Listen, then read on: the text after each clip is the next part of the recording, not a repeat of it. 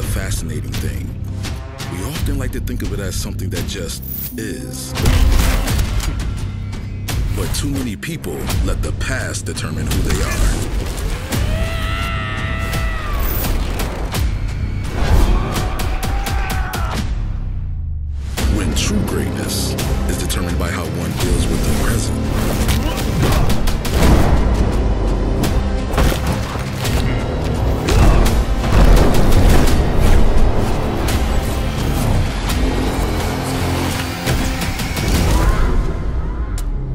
So if I'm helping you, I have one condition.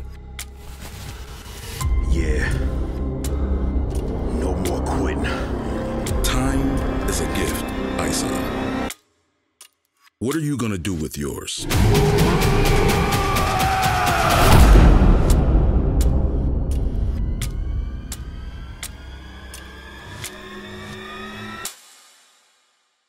And that right there was what I'd been sitting on. The first official production of Rippaverse Studios is the Isom 2 trailer.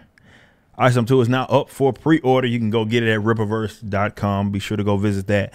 Get all the cool items, the limited items, all of that stuff. This is a long time coming. We're going to be speeding up our release schedule and everything, but we had a lot of growth that we had to do within a year's time. New warehouse, all of that good stuff, and I'm finally glad that you get to see this. Um, that that animation we worked very hard um, for, and it was it was fun to certainly get produced. And I already knew you guys were gonna dig it, but we worked very hard, and hopefully we can do stuff like that, continue to do stuff like that in the future. But this is all going to be determined by the audience, your response for it. So when you see it, share it out on all forms of social media. Talk about the book, your experience with it. Um, when you do get your hands on it, keep talking about Isom One. Keep talking about the company, all of that stuff, word of mouth.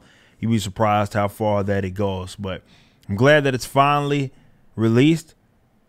Isom number two, rippaverse.com. Go place your orders.